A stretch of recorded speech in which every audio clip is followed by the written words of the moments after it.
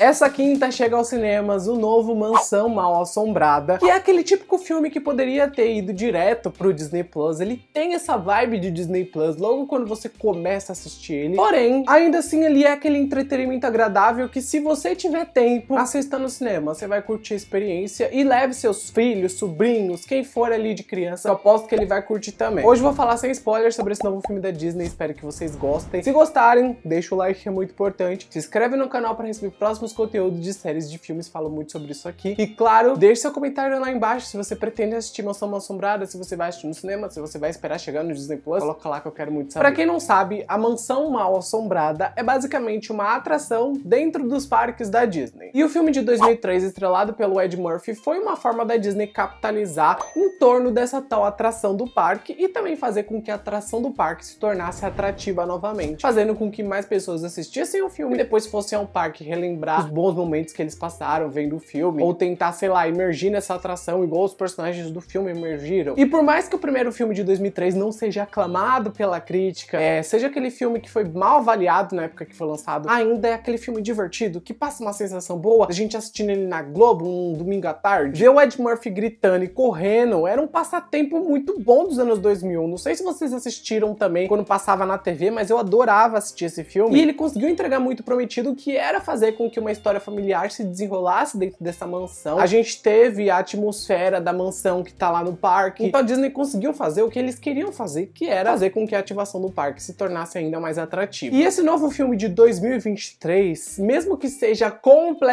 diferente do filme de 2003, ainda assim ele é aquele entretenimento agradável que vai cativar uma nova geração. Na trama nós conhecemos o Ben, um ex-astrofísico que se tornou um guia turístico frustrado de Nova Orleans, que constantemente lamenta a morte da esposa Lisa. É, a vida do Ben tá bem triste, melancólica, e do nada um tal padre Kent aparece na porta dele, oferece 2 mil dólares pro Ben ir até uma mansão mal assombrada para ajudar a Gabi e o filho dela, o Travis, a lidar com alguns espíritos malignos que habitam aquela mansão.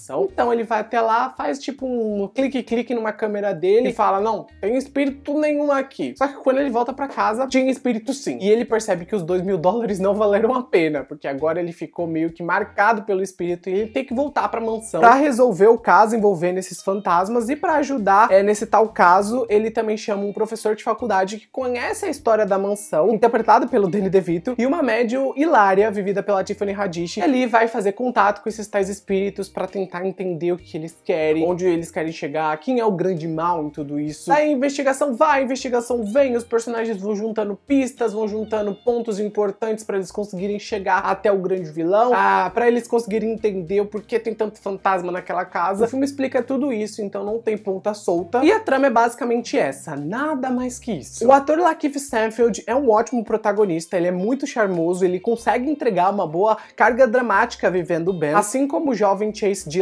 consegue entregar uma performance intensa e às vezes hilária vivendo o nosso Travis, que é o garotinho solitário, que ele tem os seus problemas, os seus dilemas que acabam sendo trabalhados durante o filme. E esses dois personagens têm uma conexão ali singular, que também vocês vão entender à medida que vocês forem assistindo, mas acaba que o arco desses dois personagens é algo bem mais dramático do que o dos outros. E ao longo da narrativa, o filme equilibra momentos emocionantes com momentos cômicos, mas mesmo que ele tente ser um filme assustador, ele não consegue chegar a esse ápice. Você vê que o filme tá tentando em vários momentos é, entregar alguns jumpscares, entregar algumas cenas ali para você ficar aterrorizado, umas cenas de machado voando, coisas desse estilo, mas ele não consegue entregar algo assustador. Na minha visão, é aquele tipo de filme familiar que nem a criança vai ficar assustada. Mas assim, a química do elenco é tão palpável, é tão gostosa, a dinâmica entre cada um deles é tão envolvente e tão carismática que às vezes a gente até esquece que o filme queria assustar é, a gente em alguns momentos e a gente simplesmente ignora e vai seguindo a onda. E o filme, por exemplo, erra em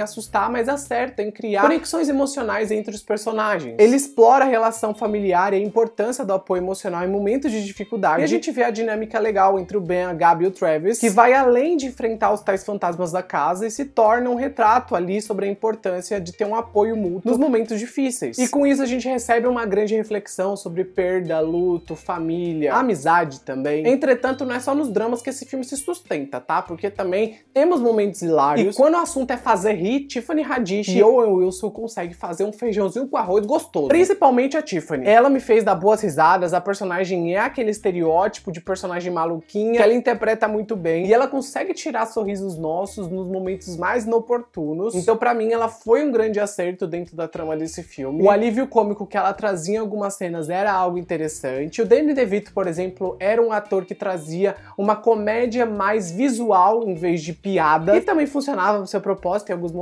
mas não era tão boa quanto as tiradas da Tiffany. Ela com certeza interpretou minha personagem favorita nesse filme. E a direção do Justin Simon, que ficou conhecido por cara gente branca, é, se mostra bem promissora desde o início. Ele consegue explorar o luto, a vida após a morte e as relações complexas. Tudo isso ambientado na belíssima cidade de Nova Orleans, que foi um acerto enorme pro filme. Essa cidade é misteriosa e cheia de histórias que trazem uma nova camada para a narrativa. Sendo que eu curti também a homenagem que esse filme faz à atração do parque, recriando alguns cenários e também trazendo algumas experiências dessa própria atração. Eu, no caso, nunca fui, mas eu já vi na internet e eu sei que tem muitas cenas do filme que são cópias da atração. E isso nos faz voltar ao ponto de que a Disney está tentando monetizar em cima dessa tua atração novamente. E eles não estão errados, eles têm que monetizar mesmo e é isso. Eles estão fazendo basicamente aqui um product placement que eu tô aprendendo atualmente na minha aula de roteiro e é uma parte muito legal de você aprender para colocar no roteiro. É, mas enfim, eu vou entrar nesse ponto. E por falar em product placement, é, o Burger King fez um product placement aqui no filme, aquela cena onde aparece sutilmente a embalagem, me deu uma vontade de comer é, batatas do Burger King. Então, funcionou Disney, parabéns. Contudo, mesmo com todas essas qualidades que eu já mencionei, o filme não escapa dos erros. Um dos erros, na minha visão, foi a duração. Não era necessário duas horas. Uma hora e quarenta dava para entregar essa história muito bem. Algumas piadas também às vezes me pareciam um pouco forçadas ou um pouco fora do lugar. E assim, nem todas as piadas eu acho que vão funcionar em português. Muita gente talvez não dê risada porque a própria tradução de algumas piadas não ficou legal na nossa língua. E também eu preciso destacar que alguns personagens não têm aprofundamento algum, gente. Mas o filme compensa em participações especiais. Uma delas que vocês vão ficar tipo, oh, nossa, ela não estava acreditada no filme. Mas ela tá no filme numa cena engraçada. É pequena, sim, mas é engraçada. Ah, e é bom falar também que outro ponto legal é que a gente tem um vilão convincente aqui. Ele consegue fazer umas boas maldades dentro do possível, né, da classificação indicativa do filme. Então não são maldades tão maléficas, mas as crianças talvez curtam a forma com que o vilão é trabalhado no filme. Não é um vilão tão assustador, mas é divertido, sabe? Enfim, o filme não vai agradar a todos, ele não foi feito para agradar a todos. Eu já falei os pontos positivos, falei alguns pontos negativos. Pra mim é uma sessão da tarde super gostoso. Veria novamente daqui a alguns anos. É, eu acho que isso é legal, porque tem filmes recentes da Disney que eu, por exemplo, nunca mais veria. Esse, no caso, é um filme que eu veria novamente. E eu gostei bastante que esse filme e o de 2003 são totalmente opostos um do outro. Eles têm abordagens diferentes e isso torna os dois bem únicos dentro da sua proposta,